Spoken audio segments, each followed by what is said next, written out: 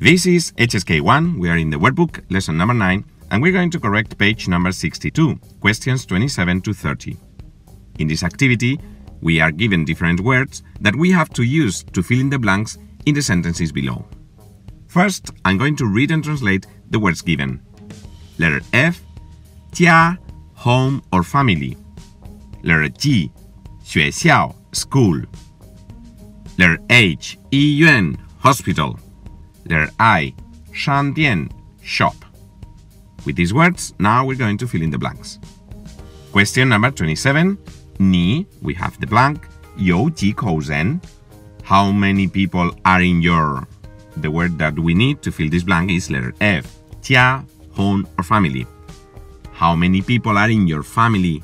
Ni jia you ji zen. Question number 28. 我想去 we have the blank 买一个被子 I want to go to the blank to buy a cup if we want to buy a cup we need letter I which is 商店 shop 我想去商店买一个被子 I want to go to the shop to buy a cup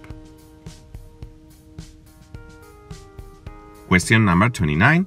明天下午我想去 we have the blank 看书 Tomorrow in the afternoon I want to go to to read a book or to study.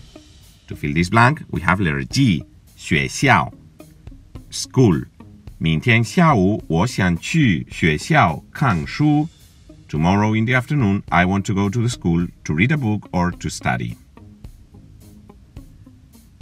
And we finish with question number 30. 他爸爸是医生，在 we have a blank 工作。His dad is a doctor at we have the blank works. To fill this blank, the only possibility left is letter H 医院 hospital. 他爸爸是医生，在医院工作。His dad is a doctor, works in a hospital. With this, you have the correction for page 62 in the workbook.